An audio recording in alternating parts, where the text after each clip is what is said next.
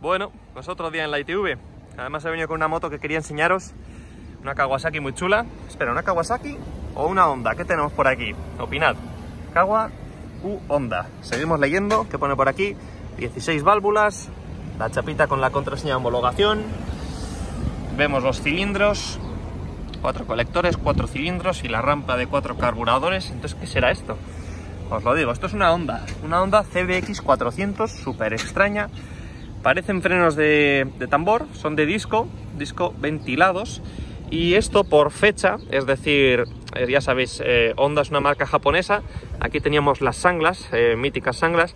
Pues se dice que Honda copió a Sanglas en este sistema de refrigeración, por decirlo de alguna manera, para el disco. No resultó muy eficaz, así que solo lo veréis en modelos CBX 400 y 550, quizás en alguna otra, pero no, no salieron muy recomendables. El mantenimiento, las prestaciones eran insuficientes y el mantenimiento pues bastante tedioso, es decir, habría que desmontar todo, imaginaos, para acceder al propio disco. Así que muy chulo, muy chulo, pero de efectividad, pues bueno, se ve que ahí, ahí radican las pruebas, ¿verdad? Entonces, una moto CBX 400, también destaca esta moto por el mono amortiguador, versión ProLink, la moto está sucilla, nos la trajo el cliente para servicio de ITV. Mm. ¿Y qué más iba a comentar? Tiene un sistema ProLink como la CBX 550 y la CBX 1000 ProLink, la que tiene todo el carenado de CBX 1000 estarían las del año 78-79, que serían las de doble amortiguador lateral, que son más cotizadas, y luego estaría la ProLink con este mismo amortiguador, mismo sistema, el carenado, que se cotizan algo menos, como un 20-25% menos que las de primera serie. A día de hoy hay dos CBX 1000 anunciadas en mil anuncio, estamos hablando de 2021, mayo y bueno, finales ya y una piden 15.000 euros matriculada como vehículo histórico y la otra piden 20.500, las CBX 1000. Ya sabéis que nosotros tenemos dos en el taller y por ahora no tenemos intención de venderlas. Eh, una me la quedaría yo, que llevo reservándomela 5 años ya, se dice fácil, y la otra la conseguí pues para mi padre. Si algún día las anunciásemos a la venta, las anunciaríamos en el canal de YouTube y luego las publicaríamos seguidamente en mil anuncios, también en Wallapop, por ejemplo. Acerca de la moto, he venido para... no ha sido un proyecto de homologación, sino que ha sido una ITV convencional. Entonces, bueno, lo primero que voy a hacer es retirar todo esto. Ya veis el casco NZE, voy a quitar primero los papeles en los que se muestra ITV 2023. Ya sabéis que las motos tienen ITVs cada dos años. Esta es la mochila del colegio. Vamos, que tiene sus 20 años ya esta mochila. Y así la, la puse, así me puse el nombre en la mochila para distinguirla y el casco NZI, que por cierto es de los vídeos más vistos. Hice un vídeo aquí mismo, también en ITV, con la moto Buell. Eh, grabé el casco, lo puse como fondo, como pantallazo para el vídeo y madre mía, va por las 90.000 reproducciones, así que de nuestros vídeos más vistos. Y ahora lo que estaba comentando acerca de la propia moto. Seguramente digáis, uff, vaya antenas. Pues sí, son feas, son gigantes, son las de ITV, por decirlo de alguna manera. Los neumáticos os pueden gustar más o menos, son efecto balón. Alguno dirá, pues yo prefiero de carretera. Pues para eso están los gustos. Las preferencias, las prioridades y los presupuestos. Se influye todo. Em, ¿Qué más? El depósito. ¿Por qué hemos puesto Kawasaki? Porque nos apetecía, por un poco vacile. Es una moto, si ya es rara de por sí, es una CBX 400, pues aún así nos hemos enrevesado con Kawasaki, el freno este. La verdad que esta es una moto que descoloca pues al 99% de la población. Fue de nuestras primeras motos que la customizamos em, para nosotros para después venderlas, es decir, no fue un proyecto bajo encargo y finalmente encontró comprador. Se queda por la zona norte, no vamos a dar nombres por confidencialidad, respeto, etcétera. Y bueno, esta es la moto de la que guardamos muy buen recuerdo. 400 centímetros cúbicos, 4 cilindros, enfoco al escape, que es un escape patatero, bananero, pues para la ITV muy capado, silencioso. Lo que sí están cambiados son los colectores, que son de la marca Marvin. Y aquí, bueno, tenemos adaptado este, pues ya imagináis para qué. Para cumplir con los eh, índices o con los decibelios permitidos. Aquí tenemos también una especie de apaño, porque esto no sería lo suyo, sino que esto está pensado para la ITV mmm, cumplir con la verticalidad de la matrícula. Luego ya por el tipo de neumáticos que se colocaron voluminosos, afectó al soporte original de la moto y esto ha hecho que tengamos que desplazar la matrícula un pelín más atrás. Por lo demás, caja de filtro del aire colocada y ¿por qué hace que sobresalga tanto? Porque el depósito original de la moto no era este, sino que era uno más ancho. Me voy a poner aquí en esta visión, ocupaba de cilindro de lado a lado.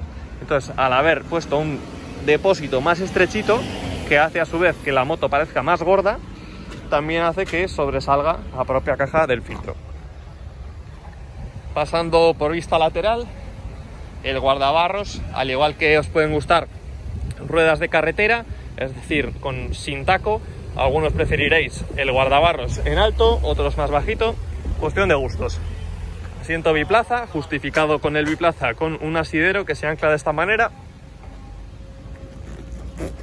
ya sabemos todos que nadie se agarra al asidero eh, cuando se va de acompañante, mismamente porque habría que ir como pillado por aquí. Y vamos, que no tiene mucho sentido, pero bueno, así se justifica. Tema burocrático. Y si se quedan contentos, pues se hace de tal manera. Vamos a la llave de contacto. Recolocada. Aquí no es la posición original. Contacto. Se iluminan las luces. Aquí tenemos el las luces para ponerlas en posición y cruce. En el puntito sería en el punto para arrancar, donde el faro está apagado. Se ve que está con cola, porque esta al final es plástico de 40 años y bueno, se queda más sensible terminándose por desgastar. Tirador del aire. Que no hace falta accionar porque acabo de salir del ITV. Y botoncito. Veamos, antes que nada, grifo de gasolina. Posición horizontal, off. ¿Veis la flechita? Res arriba, on abajo. Lo dejamos en on, aunque estará a punto de res, reserva. Lo dicho, botón. Escape silencioso. Con la moto arrancada, luces. A ver, la moto es una preciosidad. La verdad que tiene un, conjunto. Ahora le quitamos las antenas, le cambiamos el escape, fuera la caja de filtro del aire y matrícula a su sitio y vamos. De las motos más bonitas que hemos hecho, yo creo. Además, para ciudad es muy escurridiza, cuatro cilindros. Ojo, esto empuja que no veáis. Si queréis ver vídeos en YouTube, hay. Esta, por ejemplo, se trajo desde Italia, así como curiosidad. Es un modelo japonés que fue a Italia y después se importó a España. Y como veis, la matrícula es DSL. A día de hoy no se puede rematricular una moto de estas sin hacer histórico, pero hubo un periodo DSL que viene a ser 2000, 2008, por decir, no, antes, 2006, por decirlo de alguna manera, 2005-2006. Pues en este periodo se permitía importar vehículos y había más facilidades para su rematriculación, para su importación. Se aprovechó, se trajeron varios vehículos, tenemos por ejemplo una Kawasaki Match 3 500 dos tiempos, que esta se trajo en este mismo periodo y de Italia, coincidencia, y bueno, eso era modo curiosidad, que hubo un gap de tiempo en el que se permitía o era más fácil la importación. Como veis, las piñas son originales, aquí se guardan los fusibles, estos son semimanillares, se anclan directamente a la barra, aquí tendríamos las luces de intermitencia,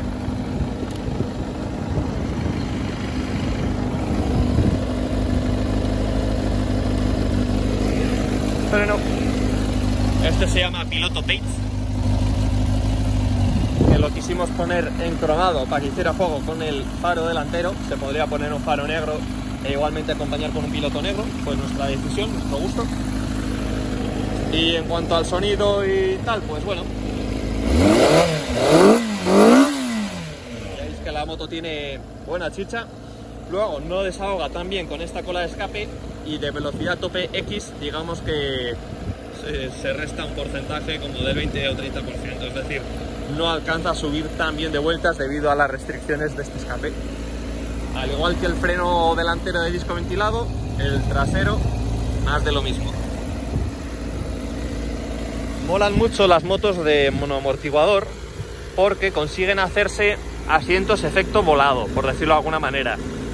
Las que tienen doble amortiguador taparían la visión de la rueda Aquí este escape pues molesta bastante eh, visualmente.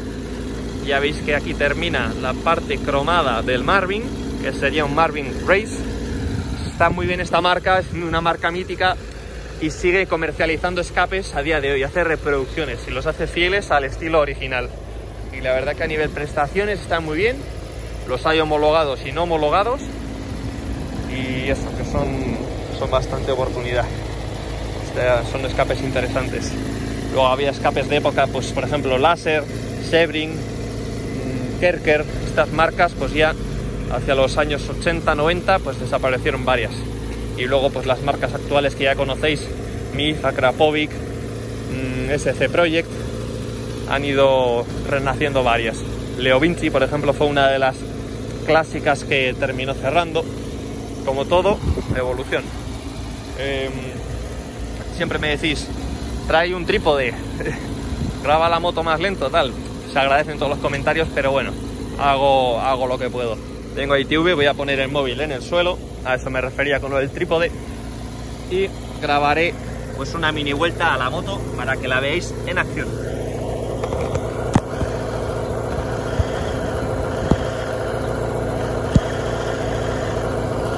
A ver qué tal se ve, así. Voy a aprovechar mejor el casco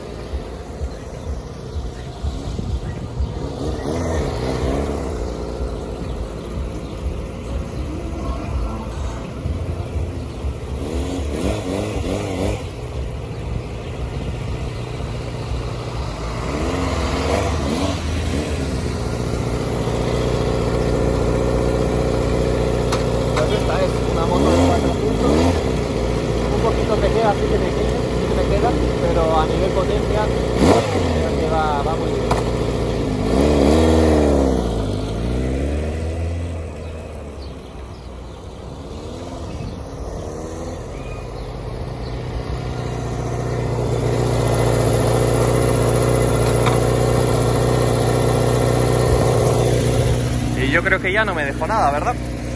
Así que con el vídeo hecho, me pongo casco, me pongo la mochila y desaparezco. Voy a grabar una cosa más. Neumáticos en pulgadas 4.018 y para que sepáis MT43 de la marca Pirelli. Así que como dicen en la Warner, eso es todo amigos.